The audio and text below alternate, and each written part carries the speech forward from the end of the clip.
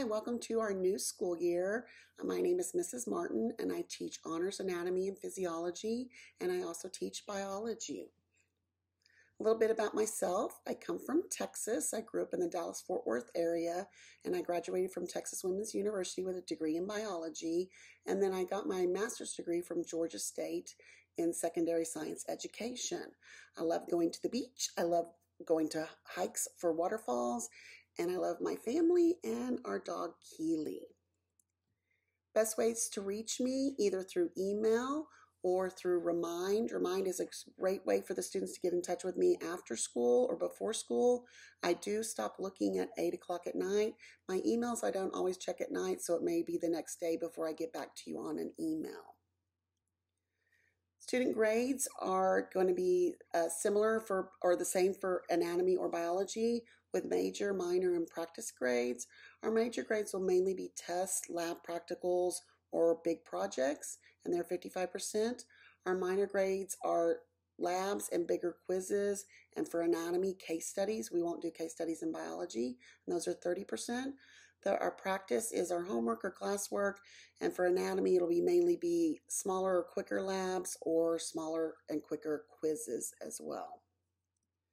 We have lots of fun laboratory activities this year. We're looking forward to getting back in the lab and doing some fun stuff.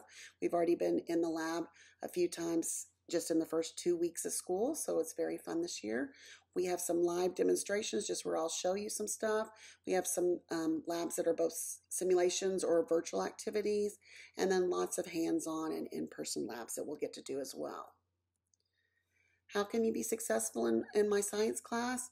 Take notes, whether that's you know, writing down as much of the words that you see on the PowerPoint, referring back to the PowerPoint later, or just listening in class and absorbing the information.